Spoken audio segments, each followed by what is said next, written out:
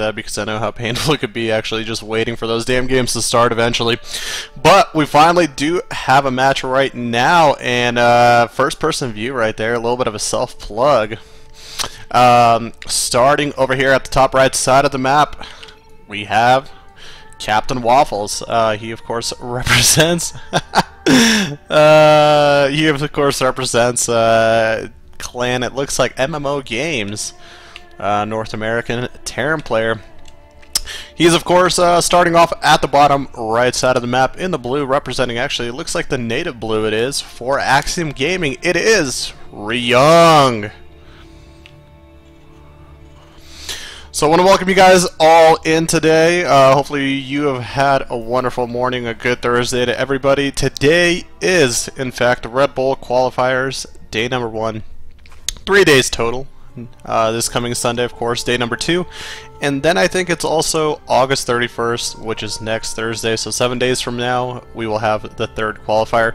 I'm CheeseheadLogic. Of course, you guys can uh, follow me on Twitter at CheeseheadLogic. Or if you want, uh, you know, just check out the YouTube, everything like that. Uh, make sure just hype up the stream, let everybody know we're getting started today with the first game of the day.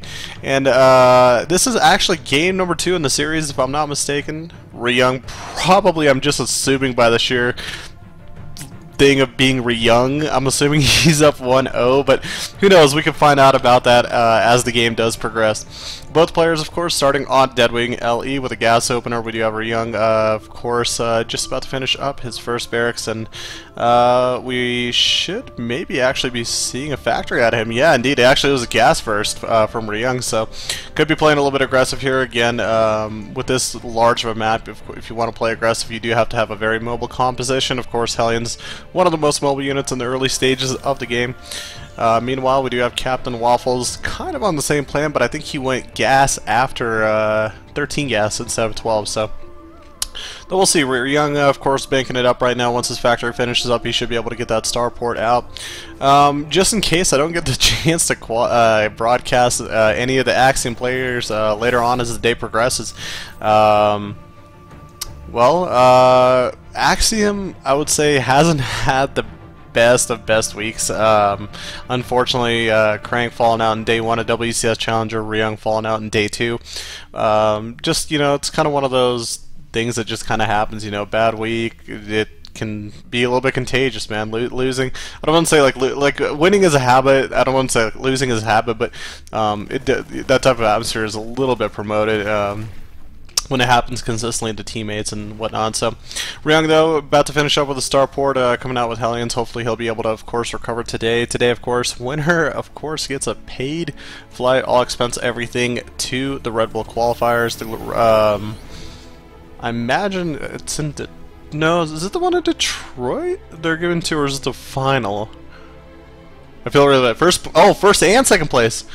Uh, it's going to be the Global Grand Finals. Okay, Global Battleground Grand Finals in California, Santa Monica. I thought it was Detroit. I'm like, that, that doesn't make sense. I'm like, we wouldn't host three global qualifiers a bunch of players to Detroit. I'm like, that's why we had the NA qualifiers for. Um, but th this is pretty cool, though. You know, like, you can't complain. I, I, absolutely love Red Bull. They're hooking it up. They've, they've been just doing wonderful things for esports this year, and uh, it's the only thing that you could hope for. Now, Ryungi's got about three Hellions out on the map. We'll probably uh, maybe have some additional ones. No, it looks like a Viking's following it up, but three Hellions plus a uh, medevac full of Marines and an SCV. Should be very interesting to see how this comes out. Banshee's actually going to be very crucial because it might just fly over the path of that medevac, and most likely we'll have to come back to help defend. If it does go across the map, there will be a Viking waiting for it. There we go. The Hellions do come in. They will scorch the, uh, the Marines. I went to the low ground. SCV, of course, will get caught. Now here comes the drop of the Marines. We'll see how well uh, Ryung Micros, he might have to lift up some of the units. And um, looks like he's just going to lift over and he's going to start attacking the Banshee. Remember, the cloak upgrade is not finished up, and uh, Ryung can utilize the boost on those medevacs to be uh, on the medevac to actually catch up to the Viking if you wanted to. I mean, sorry, the Banshee. Ryung's starting to roll inside the main base, and uh, at this point, I would want to say it's probably game over, um, just due to the fact that Ryung's already lifting up. He's microing. All SCVs are pulled. When SCVs are pulled, they stack up really nicely, and already the worker count down to 8, 7, 6, 5, 4, 3. Vikings like, oh god, oh god, what did I come out to? Oh my god, oh my god. And uh, yeah, it just actually falls down, man. Unfortunately, down to two workers, down to the final one. Tank coming out, but again, uh, man, talk, talk about it. Talk about an uphill battle for Captain Waffles up here. If he uh, plans to try to stay in this game, and Ryung decides to go for that final SCV, focuses it down. No SCVs left. One is in production, but I mean, realistically, this game is practically over. We take a look back at Ryung's base.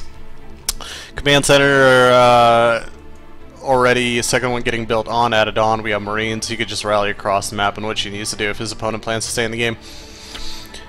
I, I appreciate the persistence. I appreciate the persistence of Captain Waffles' to never give up attitude, but at this point, this is th this is that like point where Ima imagine yourself being in an MMA fight. You know, you guys, you guys have probably seen an, an, an MMA fight. You know, like the mixed martial artists, the guys like in the octagon. If you guys, have, if you guys don't watch fighting, then you guys should. It's pretty awesome. I love it.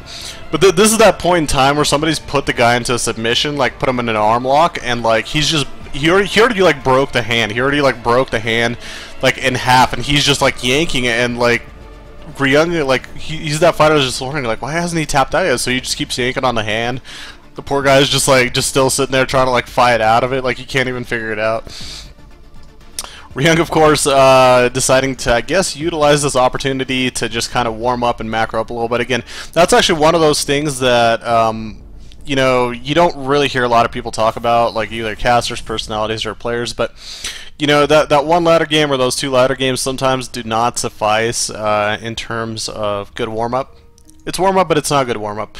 The atmosphere of uh, being in a tournament game itself, officially, you get that first best of three out of the way, is probably the best warm up you could get. You get some of those jitters out of the way. You get that feel that you actually just put something on the line, so it gets your body kind of mentally uh, ready for everything. Now Captain Waffles dropping that command center, of course we see still trying to work his way out of it, regain that worker count, but it's 38 to 8, 70 supply to 16. Um, Ryung could honestly just fly in and land all the Vikings and just wipe absolutely everything. I mean, the, the only way like uh, something out of this is basically if just Ryung decided to sit back and wait for maybe you know 20 more minutes for his opponent to recover, get his upgrades, and try to at least max out. So tank, of course, uh, will be sieging up here on the high ground. Ryung, of course, should just go for the tank. Honestly, there we go. There he goes. Bada bing, bada boom. GG. So I'm assuming Ryung took that uh, second game right there. If that that is the second game, I'm assuming he won the first game, so he'll be moving on 2-0 into the next series, round of 64. So good luck to him, and hopefully we'll see he, we'll see more of him as the day goes on. All right, so